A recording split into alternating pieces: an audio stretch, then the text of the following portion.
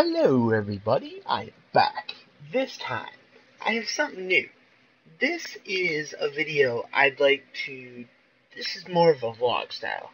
You don't see my face or what, but I want to try to do this for like serious conversations or what have you.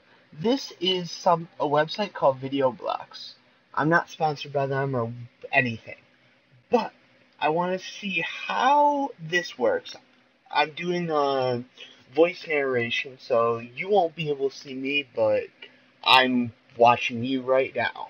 I'm the eye on the third row. I'm just kidding. But do you guys like like this look? Um, or do you guys want to see my face? Just wondering. Let me know, and I'll see you guys in my next video. Bye bye.